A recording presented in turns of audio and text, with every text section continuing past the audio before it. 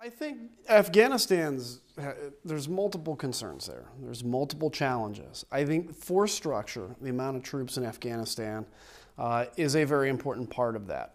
I think we made a very big mistake in the last couple of years, having uh, brought the troop level down as far as we've had we have. Uh, it did a couple things. Number one, it did not allow uh, the pushback of the Taliban forces. It allowed the Taliban uh, to gain Afghanistan ground control. Uh, it didn't allow for some sufficient embedding within uh, Afghan National Army forces, and so we've, we've, we've paid that price. So I think more troops is going to be extremely important, not just from the United States, but from NATO. Uh, but on top of that, we need to continue to political reconciliation in Afghanistan. We have to continue to try to get a better economy, even though that's a challenge with the security environment. And we have to continue the policies of the administration of trying to make Afghanistan less corrupt because people lose faith uh, in their government when there's corruption. And so it's a broad approach, but I think more troops is the beginning of forcing reconciliation and forcing an end to this war. But it is probably going to continue for a while. For the administration, a lot of generals support increase in troops. At the same time, a lot of political figures, they are against it. They didn't want to spend more money in Afghanistan. They don't want to send troops there. And also, Trump doesn't seem to talk or support or talk a lot about Afghanistan, especially also, I don't, it doesn't seem like he's supporting nation building. What do you think? What is this strategy they're looking at for Afghanistan? Nobody should have any doubt that I think, uh, frankly, Donald Trump will be way better for Afghanistan than Barack Obama was. Uh, Barack Obama, basically as quick as he could, tried to get out while maintaining some kind of a presence. He never talked about Afghanistan. I can't remember him talking about it more than one or two times in eight years as president. So I think you're going to see President Trump and his administration look at options. Uh, his focus right now is largely on ISIS. ISIS and Daesh is a huge problem.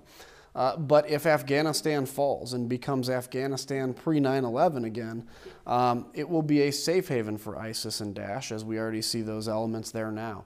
Uh, so I think you will see the administration hopefully double down, show our partnership. And the thing the American people need to realize is, you know, this is not a high grade war for us. It is for the, the people of Afghanistan, but our involvement is, is pretty light in comparison. Uh, but lastly, if the Taliban have any doubt, or our enemies have any doubt of America's staying power, uh, we've been in Afghanistan for 16 years and we're not going anywhere until this thing's over. If anybody believes there's just no interest in Afghanistan, uh, I think you're, you're forgetting the service of the thousands of people that are there every day. Um, we continue to do airstrikes every day. We work with the Afghan police and military, work with the Afghan government to build it. Uh, so I think there's no lack of interest in doing the right thing there. But we have multiple challenges around the world. And so if the people of Afghanistan, if any of them take the lack of us talking about it as a lack of interest, that's wrong. It's just the fact we've been in Afghanistan for 16 years, so people are almost kind of used to it now. President Ashraf Ghani is not pro support of increase in troops or combat role in Afghanistan. Instead, they are looking for supporting Afghanistan army. Do you think Afghan army is uh, I mean, strong enough to fight on their own against Taliban and ISIS and other insurgents in the region. The army of Afghanistan is up to way better standards than it has been. Uh, we have very high standards for our military. So, is the Afghan military at American standards? No, no other military is at American standards. Uh, we understand that you know even when we deal with fighting Daesh in Iraq, uh, it takes American involvement to stiffen the spine of the Iraqi military and to give direction. We've been doing this for a very long time, and we're frankly pretty good at warfare. Um, so I think when it comes to Afghanistan, we're going to always need to continue to be involved for the near future. Um, and look, the Afghan military have been heroes in this. They are losing a lot of people every month, too many people, uh, but they are continuing to engage the Taliban where necessary, and we're going to be there with NATO to help them. Let's talk about Pakistan. Usually, Pakistan is showing that they're supporting NATO cooperation or work in Afghanistan. At the same time, it's like a safe haven for a lot of insurgents.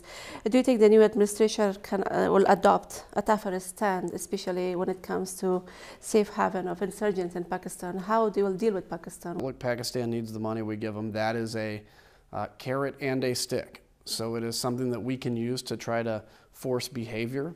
I think to some extent the president needs to loosen up the rules of engagement against Taliban in Pakistan, uh, cross border attacks and strikes.